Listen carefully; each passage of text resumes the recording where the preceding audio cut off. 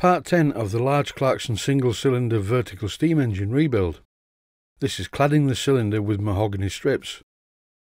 At first I was going to just clad the cylinder in the normal way with a metal plate or piece of brass or something just painted, and I thought to myself, hmm, I won't do that. I'll clad it in mahogany strip with some brass bands. It will look nicer. The first thing I have to do is get the cylinder just to a cylinder, so I'm removing all the studs. I need to shorten these anyway because they were originally fitted with lock nuts, so they're a bit over long. Some of these studs came loose very easily, some of them complete with the lock nuts, and some are just sort of finger tight. So the first thing to do is to obviously remove the loose ones, which I'm doing here. It seems to me that whoever made this engine forgot to set the depth stop on the drilling machine, because some of the tapping size holes around the perimeter of the cylinder went through, as you can see here, both on the top and the bottom. If the drill goes all the way through the hole round the perimeter, and then subsequently the hole is tapped, there's a bit of a problem. One problem is, of course, the tap can easily break.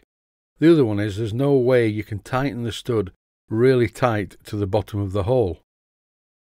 In this clip I'm removing some tight studs. Now I would normally not use pliers, but they're really not that tight, they're just tight enough to make it so that I can't undo them with my fingers. If the studs are tight, never try pliers, you will just mash up the thread.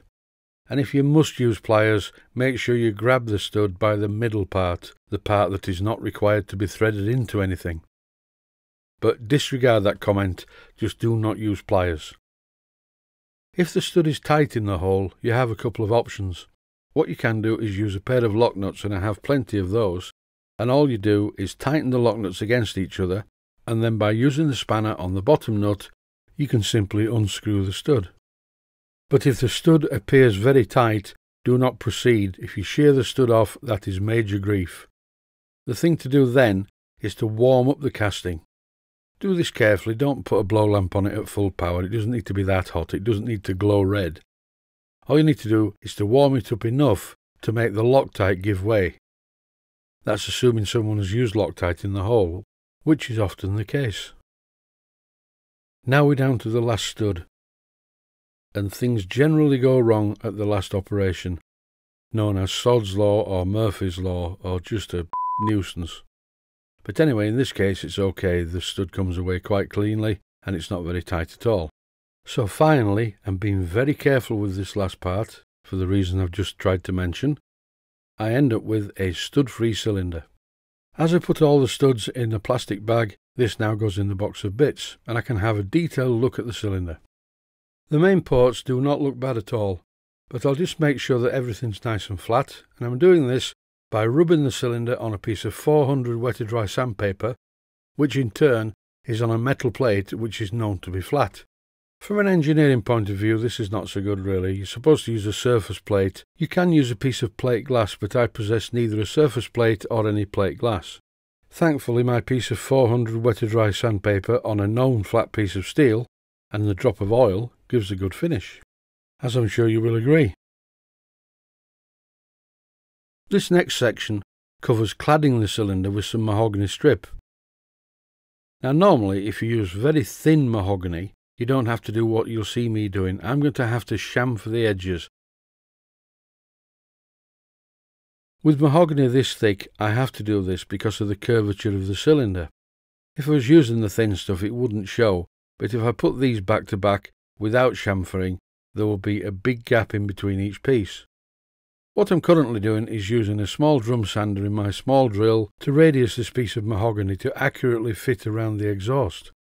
Remember, when doing a cladding job like this, it's the most important thing on the engine. Not mechanically, it isn't, but it's the thing that everyone will look at and go, oh, look at this engine, doesn't it look nice? Or, my God, look at this engine, that cladding's terrible. Or even, this man should be taken out to the top of a hill and burnt alive in a large wicker man. So, for the reasons I've previously mentioned, if you're doing a job like this, take your time and get it right. What I'm having to do with each of these pieces is firstly to chamfer each end. I do this on the belt sander, and this chamfer allows them to fit around the radius on the inside edge of the flange. These are the few pieces that I cut ready to work on them on the belt sander to get them to the right shape, and as well as sanding an angle on each end of the mahogany, which you can clearly see here, I also have to trim one edge of each of them. That way they all sit together quite nicely. If you keep watching the clip, you'll see exactly what I'm doing. I'm sticking them all in place with quite a copious amount of cyanoacrylate adhesive, or CA glue, or super glue, whatever you like to call it. At this point in the proceedings, I can see all the keyboard warriors out there with their fingers fervently twitching over the keyboard, ready to send me a message telling me how I should be doing it. But this is how I've done it for a long time, and it works. The cyanoacrylate adhesive does not really stick these to the cylinder, because as soon as the cylinder gets hot, when you run it in steam, the part of the cladding that's in contact with the metal tends to separate slightly.